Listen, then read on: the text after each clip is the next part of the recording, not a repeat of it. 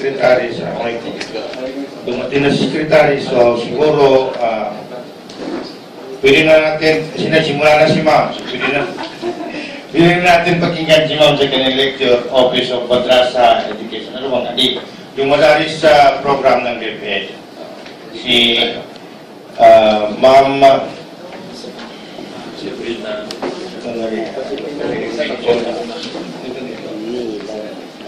uh, DepEd refines na dahil madrasa curriculum na ibibigay sa atin ng uh, OIC ng Office of Madrasa Education, Department of Education, si Doktora Josefina, Josefina Laguna.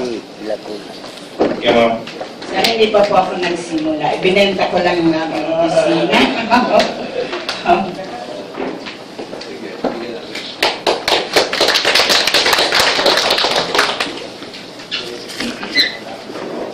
Magalang na pampati sa ating sekretary at sa inyong lahat.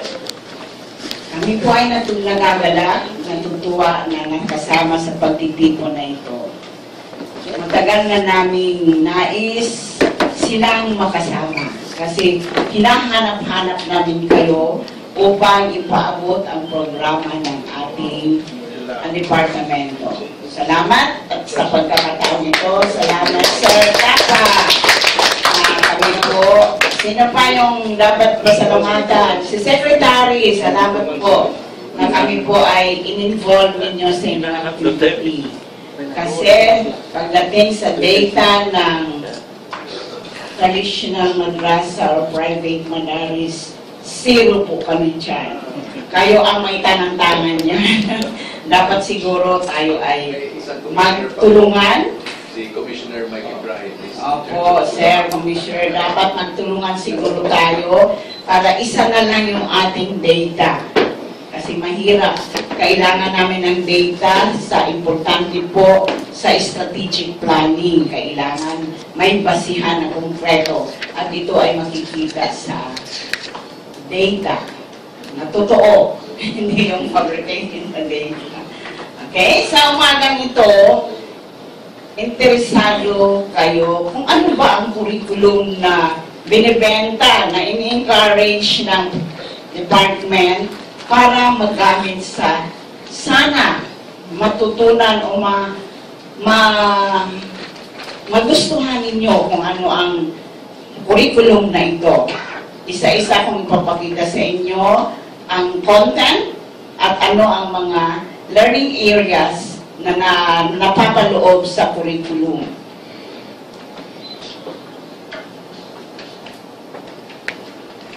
Ang curriculum ay tinatawag na Refined Elementary Madrasa Curriculum. Wala na yung SMC, wala yun yung RSMC. Isa na lamang po. Refined Elementary Madrasa Curriculum. Ah, wala na po yun kasi yun na nga po ang, ang bago natin. Ito ay isang gabay para sa, okay na po ba na itata itatabish natin? Okay. Okay. kasi yun ang bilin sa akin ni, ni Sir Tapa. Pero ako ay Bisaya, pagpapasensya nyo na po yung aking Tagalog. Siguro naman, kayo din nakakaintindi ng Bisaya. Yes, Bisaya ang dako, pero hindi ako dako kasi waray ako. ang Bisaya ang dako, yung parting Cebu, di ba? Oh, pero kantigo din ako ng gamay doon sa, sa, ano, sa Bisaya ang dako. So, ah, oh, Bisaya ang gamay ako. Okay? Ito ay isang gabay para sa public elementary schools and private madaris para sa pagplano, pagtuturo at pagtingin tungkol sa Islamic studies. Sa public school, ang Islamic studies ay napapaloob sa Islamic values education. At sa public school, makikita lang talaga Islamic va- values education at uh, Arabic language. It provides an enriched teaching curriculum for the public schools dahil dinadagdag ang Arabic language sa Islamic values education sa basic education curriculum. Ano ang implication nito? doon sa mga bata. May dagdag na oras. Siyempre, dadagdagan yung oras para sa pagtuturo ng Arabic language and Islamic values education. Ito ay nangahati at tatlong beses sa Arabic language sa isang linggo at dalawang beses ang Islamic values education na paid for 40 minutes bawat session. Sa private madaris, they are provided with the standard set of learning goals for Islamic study subjects while introducing the basic education curriculum into their school system. So dito makikita natin na ang bata ay mahahasa hindi lamang sa Arabic, pati na rin sa English, pati na rin sa Filipino. Ayaw nyo yun? Okay, maganda yun.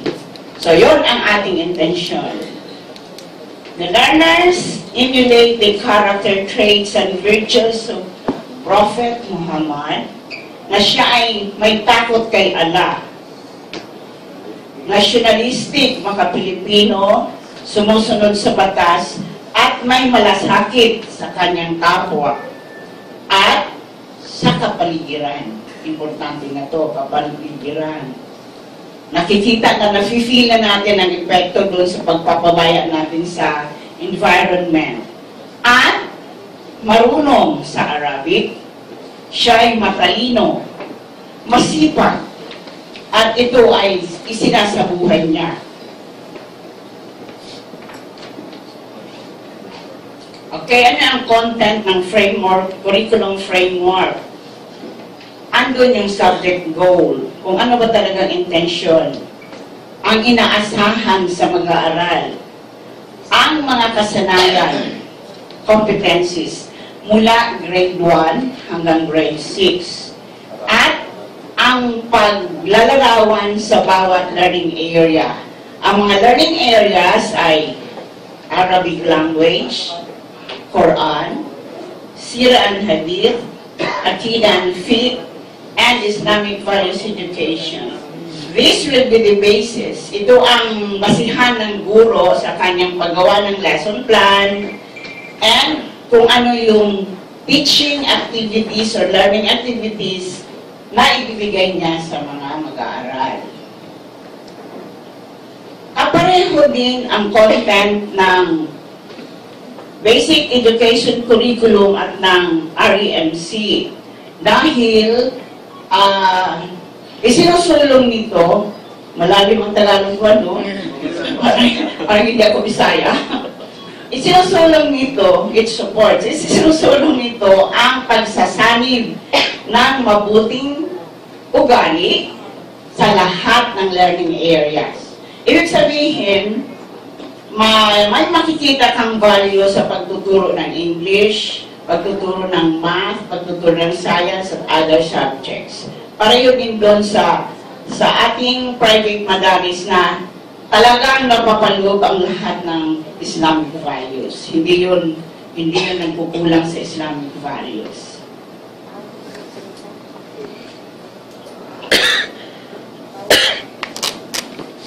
Sa curriculum framework, yung mga ginagamit ng salitang Arabic, may corresponding translation sa English.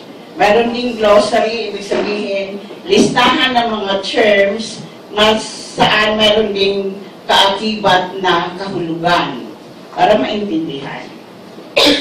At sa pagtuturo ng Hadith and Islamic Values Education, mayroon din pinag, pinag, pinagtipon ng mga ahadith para alam ng guro kung anong ituturo at kung saan kinuha yung hadith na yon. So, makikita natin doon sa ating illustration na halos magkahawig ang private, magkahawig ang private, hindi lang halos, magkahawig, magkapareho ang private madalis at saka kung ano ang mga sa public schools. Kasi, ang tinitingnan naman natin ang kasanayan. at sa pagtuturo ng bawat kasanayan, kung ano yung, yung story sa private madrasa, yun din ang ginamit sa sa alive classes. Ayan, nakita na natin.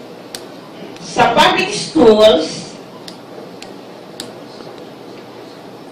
makikita natin yung basic elementary curriculum dinagdag yung Arabic language. Hindi na pinag-isa-isa yung Islamic studies ng Quran, Siran Hadith, Akida and Fiqh. Pinangalanan na lang yun ng Islamic Values Education para hindi kami ma-charge ng favoritism. Kasi bawal po sa public school ang magturo ng religion. So yun po, huwag na ko isumbong sa. Pero yun yung ano doon. So, kahit na ang ah, hindi namin pinangalan na Quran, Sirah, Katinan, Fiqh, pero yung values na makukuha dito, napapalood doon sa Islam values. So doon, kaya pareho. Hindi lang nakalagay Siran Hadith, gano'n. Ang gen- generic lang kanyang title. Oh, Gets po ninyo? Okay, so, makikita natin yung pagkakapareho ng dalawang kurikula.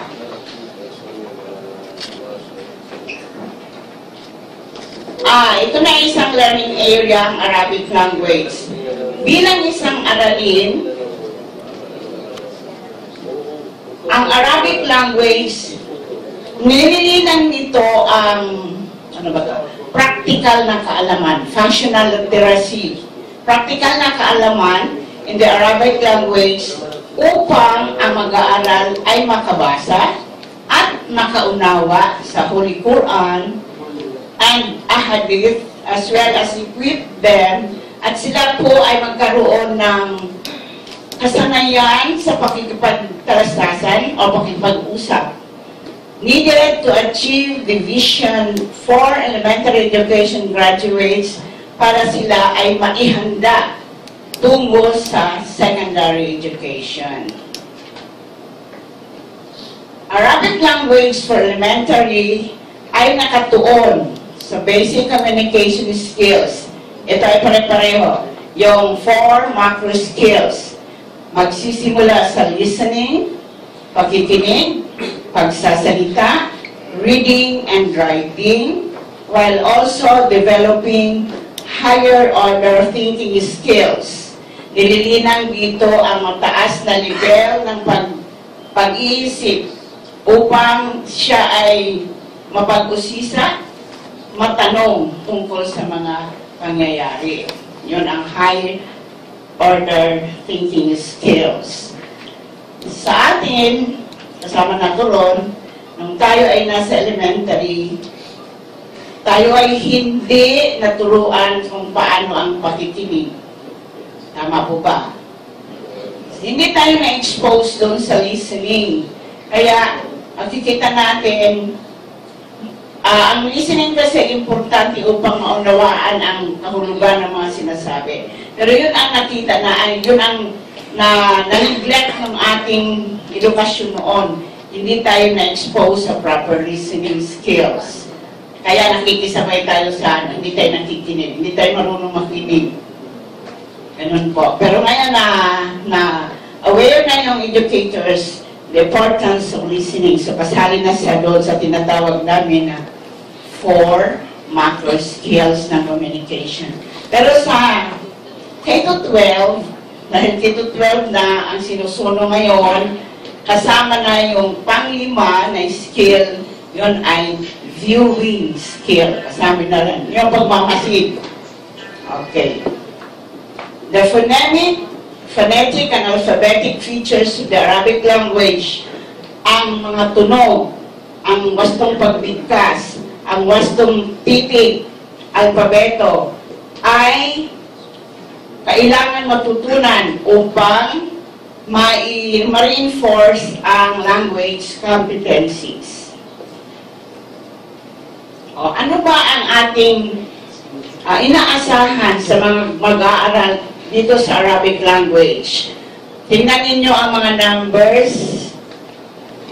Okay, sa grade 1, oral fluency. Hangga, mula sa kindergarten, oral fluency lang ang ina